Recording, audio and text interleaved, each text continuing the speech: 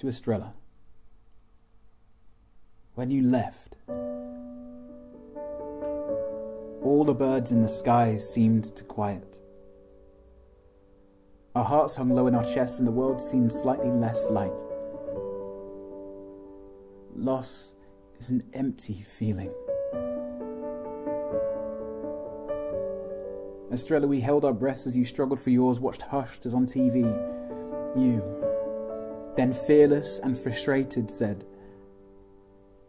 I want to help, but I just don't know when.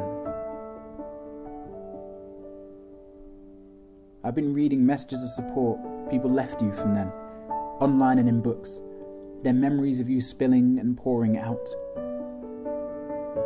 Your happy clapping for carers in the hospital car park, that rosebud smile bursting forwards, filling the space. Or you snoring, blissful in the break room, imperfect in your warmth. When you worsened, bits started to break and we broke with you. It was surreal to see you held down by drips and wires as though any second you'd stand, turn off the ventilator, shake loose the tubes and dance like you did on DPU. Drip holes as props. A microphone, maybe.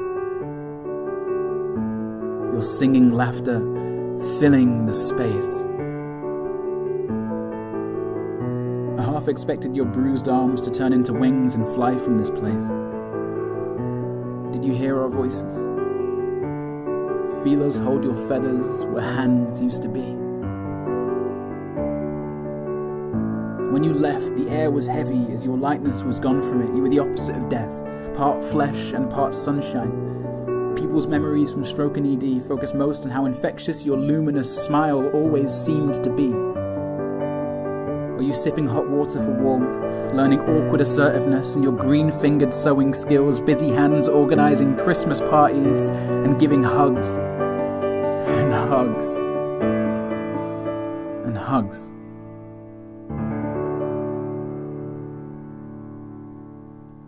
all understated understanding, flowing from everything you did, with students gravitating towards your patients.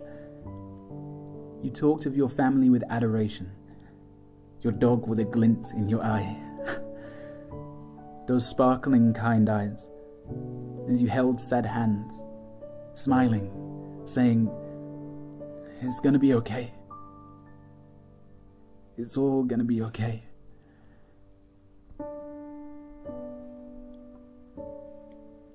So many people wrote such nice things like I was your student because of you I joined ED you stayed with me when I was scared and alone. You missed more than you'll ever know.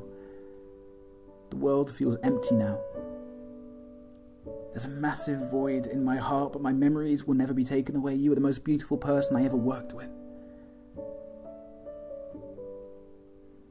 You moved to the other side of the world to fill teams with light for 20 years. The NHS was lucky to have you, and people burst with happiness the few times your quietly dedicated dignity, your constant kindness, was recognized in hampers and awards. You will transcend. Living on in these fragments of memories will carry you with us. Seek refuge in them. Be better nurses and people in your honour. Hundreds attended memorials for you across East Anglia and online. In hospitals and churches, they clapped for you. In the same car park you clapped, and £60,000 was raised for your family. Priests and princes prayed for you. Flags were flown at half mast. The cathedral held you in their memory. And I'm sure you would have been embarrassed by all the fuss.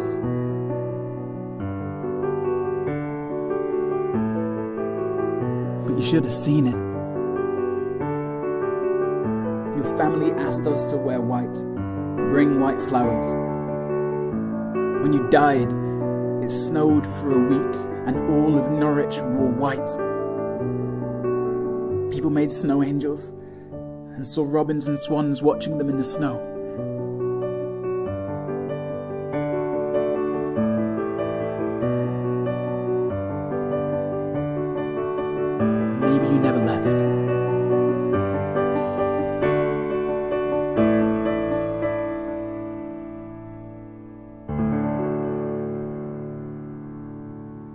Then it was suddenly spring.